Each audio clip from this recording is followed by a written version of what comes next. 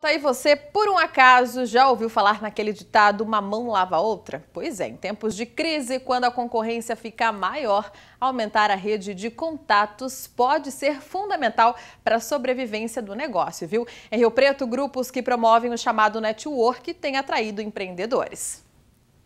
Interligar, essa é a principal função do networking, uma ferramenta importante de negócios, principalmente em épocas de crise.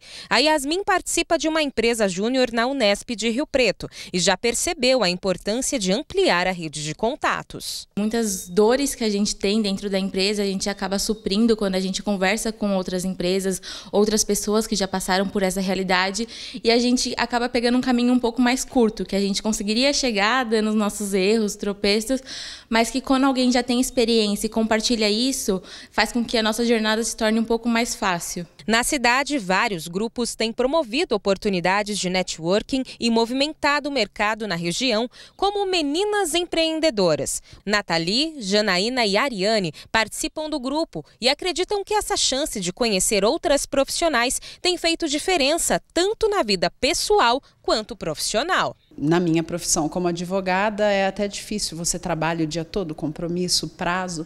Então, o bacana do grupo é que eu passei a ter mais amigas. Já consegui algumas clientes, acabam ficando um pouquinho mais próximas também, né?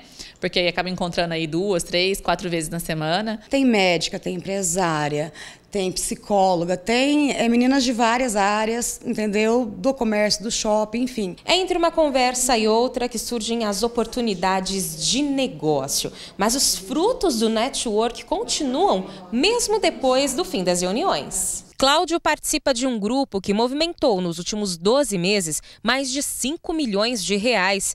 Ele acredita que esses grupos promovem relacionamentos seguros para futuros negócios, por isso tem dado tão certo. É um grupo de empresários que tem diretrizes e políticas que levam os integrantes, os participantes, a gerarem negócios entre si. Em tempos de crise, estar em contato com pessoas e poder de forma direta divulgar o seu trabalho ou negócio é a melhor saída para não deixar a peteca cair. Nós trabalhamos realmente com a uh, construção de relacionamentos para depois fazer negócio. É um novo jeito de fazer negócio.